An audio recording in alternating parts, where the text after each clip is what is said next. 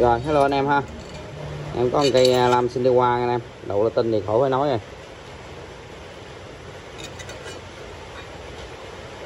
Và có cái nhược điểm à, nó là nó bị cong cái đuôi anh em. Nè, anh em thấy không? Nó bị à, cong cái đuôi rồi ha.